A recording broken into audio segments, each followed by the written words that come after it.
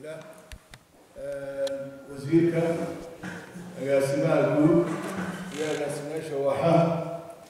maarayaha dekedaha somaliland xildhibaanada ka qaybgala seminaarka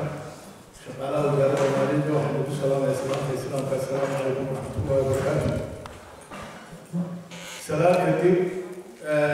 sida uu sheegay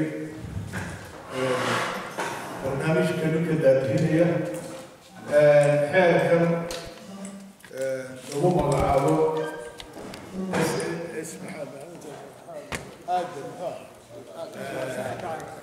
Cashuuraha aagga cashuuraha ka caagan runtii waa xeer muhiima dalka iyo dadku loo baahan yahay kobcinta dhaqaalaha iyo horumarka maaliyadeed baa ka qaybgelaya waana aaggaasi waa aag dee adduunka oo dhan dalalkeedu ay adeegsadaan oo isticmaalaan oo ku kobciyaan dhaqaalahooda iyo miisaaniyadooda iyo hawlqabadkooda shacbigana waxtar weyn u leh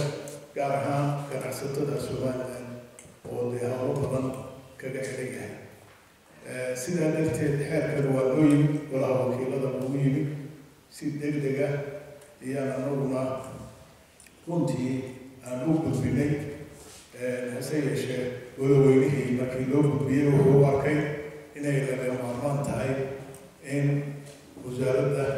iyo dadkii xeerdheerayaasha dhaqaalaha inay u sharxaan u macneeyeen waxyaabo badan oo ku fadhiyo baa jira qodobo fara badan oo loo baahan yahay inaan laga hadlay ahayd maadaama uu degdeg ugu yimid waxay jeclaysteen inay xoogaa u noqdaan xeerkan. Ahamiyadiisa way ka way garanayaan wayna wayna qadarin karaan laakiin haddana xeer kastaba wuxuu soo maraa procedure. procedurkii uu soo maray ayaa maxaa deg deg ahaa sidaa darteed iyagana waxay codsadeen xaqna way u lahaayeen inaan laga baaraan nago xeerkaas oo la fiirsado oo wixii tarxaan laga bixiyo kabacdina markaa golaha uu goloweynuhu ansixiyo codsigaas isaga abuu fadhigani ku yimid wasiirka maalinta isagoo ku mahadsan codsigaas uu aqbalay xildhibaanadana martiqaad baa loo sameeyey maanta inay ka soo qabaan bishu ay tahay sagaal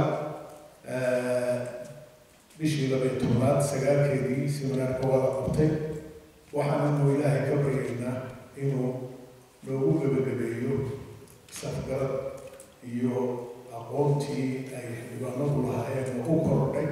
iyo idinka ama dadkan khubarada maaliyadda wixii sharax ay sameeyaan inaanu waxtar iyo nafci aanu ka hadlo baan ilaahay ka baryaynaa kabacdina waa xeerde laga maarmaan ay tahay sidii dastuurkuna farayo inaanu ka markaanu ka baaraadno procedurekeeda nala mariyo inaan soo inaan u codeyno ansixino u gudbino madaxweynaha madaxweynahuna sidaa ku ansixiyo wabilaahi towfiiq aad baan idinku rajeynayaa in workshopkeena waa garadhaw noqdo wax wanaagsan ka soo على خير والسلام عليكم ورحمة الله وبركاته. صلى الله عليه وسلم